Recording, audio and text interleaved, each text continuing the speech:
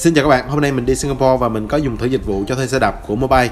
Thực ra mình thấy có khoảng 2 3 dịch vụ cho thuê xe đạp nhưng mà vô tình thấy chiếc xe trên đường nên mình cài cái app Mobile và sử dụng luôn.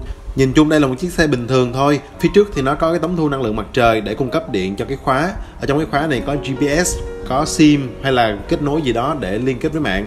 Mình không biết các dịch vụ khác thì sao nhưng với dịch vụ mobile thì các bạn cần phải đặt cọc 49 đô la. À, tiền đặt cọc thì các bạn có thể trả bằng thẻ tín dụng và khi các bạn không muốn sử dụng nữa thì cái số tiền này sẽ được hoàn lại rất là đơn giản thôi, à, không có gì phức tạp cả.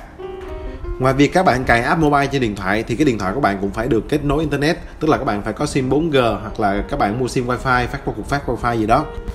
Vị trí xe đạp được đánh dấu rất là rõ trên bản đồ cho nên các bạn có thể xem gần các bạn có chiếc xe nào không, các bạn có thể đi bộ lại hoặc là tìm xe. Việc unlock xe cũng rất là nhanh, chỉ bằng vài giây thôi.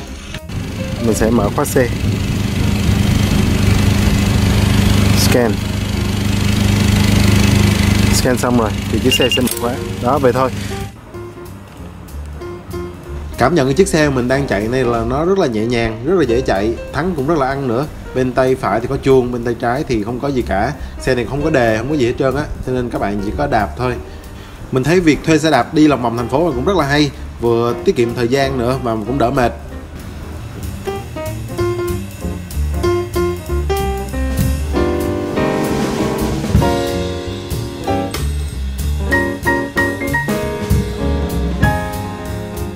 Đạp xe và dùng cái ờ, tai nghe Bluetooth Apple earpod và mở cái ứng dụng Map thì nó hướng dẫn mình đi đường rất là dễ. Ví dụ như khi mình rẽ trái rẽ phải vậy đó. Các bạn đạp xe tới nơi xong rồi muốn kết thúc chuyến đi thì chỉ việc khóa xe lại thôi là chiếc xe nó sẽ báo lên hệ thống là chuyến đi đã hoàn thành và người ta sẽ tính tiền các bạn. Đi xong thì tới nơi chỉ việc khóa xe lại xe sẽ báo là được khóa xong là xong.